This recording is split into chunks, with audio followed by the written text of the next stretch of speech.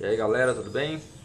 É, dia nublado hoje aqui no, nas colinas do Itambé. Tá bem? Eu, por meio desse vídeo apresentar para vocês um processo de produção de Tifton, de pellets de Tifton. Esteve conosco aqui uma das grandes referências na, na criação de manga larga machador do Brasil para o processo de pelletização de Tifton para a, suprir a demanda da sua necessidade de produção de pellets e também para a revenda.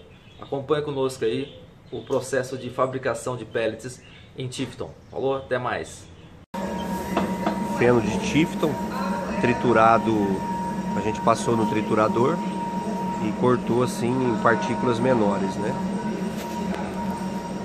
Isso aqui é uma ração é, compõe milho, farelo de milho com é, farelo de trigo, né?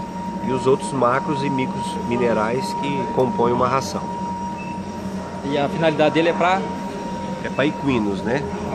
É, é, tanto essa parte aqui de volumoso, que é o feno, e essa parte aqui que é a parte da ração que, que compõe né, a nutrição do, dos animais.